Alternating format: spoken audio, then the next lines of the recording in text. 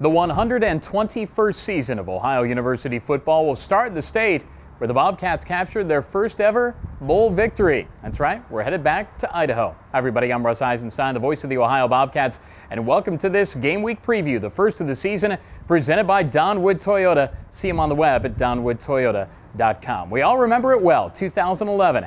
Ohio knocked off Utah State in the famous Idaho Potato Bowl. Tyler Tettleton dove for the pylon. The extra point was good, and the Bobcats held off a final Aggie charge at the end on the final drive of the game, and Ohio captured their first of two bowl victories. So it's a special return to the state of Idaho to start off the season against the University of Idaho's Vandals. Ohio knocked them off in Athens last year 36 to 24. And much like the Potato Bowl is special to Ohio, that bowl game is special to the Vandals too. It was called the Humanitarian Bowl back in 2009 and it was a thriller. Highlights, big time fun and a big time win for Idaho over Bowling Green. But since then, unfortunately, not a lot of wins for the Golden Black.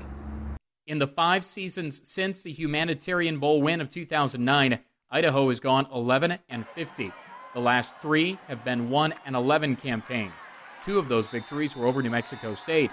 After the Western Athletic Conference dropped football, the Vandals were independent for a year, and now this is their second season in the Sun Belt. Paul Petrino, the brother of Louisville head coach Bobby Petrino, is in his third season in Moscow. It is a tough job, partly because of location, partly because of conference instability. They've moved four times since jumping to the Big West and the FBS in 1996. They do have tradition to build from. In the 80s and early 90s, they went to the 1AA playoffs 11 times. Defense has been an issue. Last year, the Vandals ranked 112th of 125 in total defense and points given up, allowing 462 yards per game and 37 points per contest. They were 53rd in total offense, but the 25 points per game just didn't add up to wins. Matt Linehan is back at quarterback. In his redshirt freshman season, he threw for 2,500 yards and 11 touchdowns, but also 18 interceptions, three to Ohio's Quentin Poling. Wide receiver Dezmon Epps is back after being off the team last year. He was a top receiver in 2013. They're switching to a 3 4 defensive scheme, and they brought in new personnel, an attempt to give the offense a chance to win some games. Punter Austin Rehkow is their only Sun Belt preseason first teamer. The Vandals are picked last of 11 in the league's preseason poll.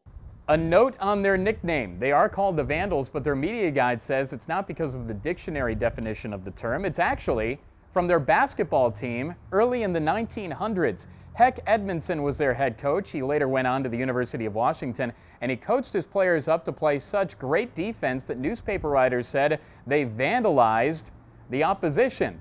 That nickname stuck, and they're the University of Idaho Vandals. They are in the Sun Belt, even though they are in a state that borders Canada. Ohio has had success against Sun Belt opposition before. You remember the New Orleans Bowl, Ohio lost to Troy, but Ohio has beaten the Raging Cajuns of Louisiana Lafayette before down at the Swamp and in Athens. They've knocked off Louisiana Monroe. You remember that from the bowl game, the Independence Bowl. Ohio has beaten New Mexico State twice, and of course, Idaho last year.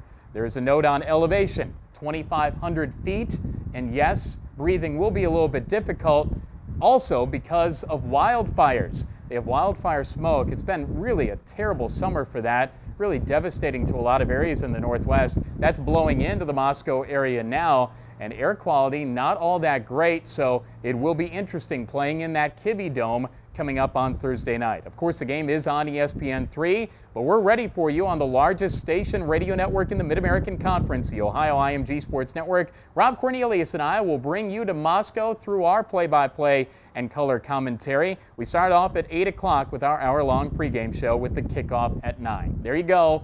We've got you set. Our game week preview, the first one of the year, Ohio and Idaho, presented by Donwood Toyota of Athens. Thanks to Tanner Smith for his outstanding work and the entire Bobcat TV crew. I'm Russ Eisenstein, and yes, this is Bobcat TV.